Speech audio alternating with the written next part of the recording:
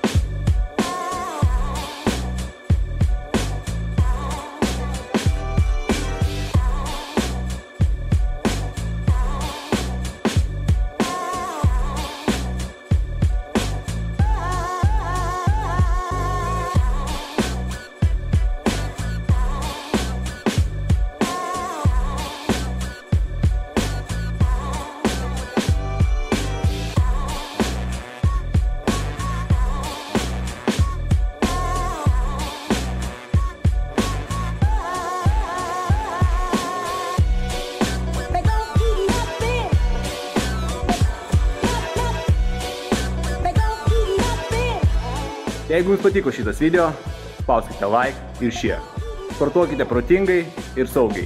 Geros jums treniruotės ir iki greito.